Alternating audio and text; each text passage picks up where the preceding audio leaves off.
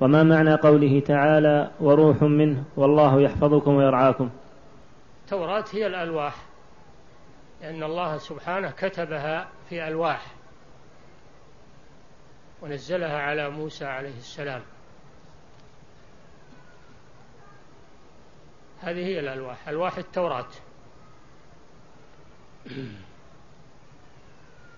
وأما الصحف فهي صحف إبراهيم عليه السلام. وصحف موسى وهي التوراة أيضا. تسمى ألواحا وتسمى صحفا. وبقية السؤال؟ ما معنى قوله وروح منه؟ أه؟ وروح منه. روح منه عيسى عليه السلام.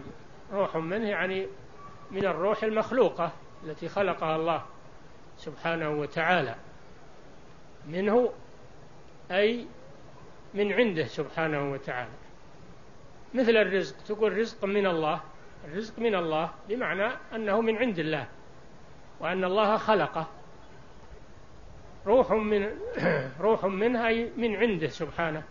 هو الذي خلقها. وسمي عليه السلام روحا لأنه خلق من من أم بلا أب. خلق من أم بلا أب.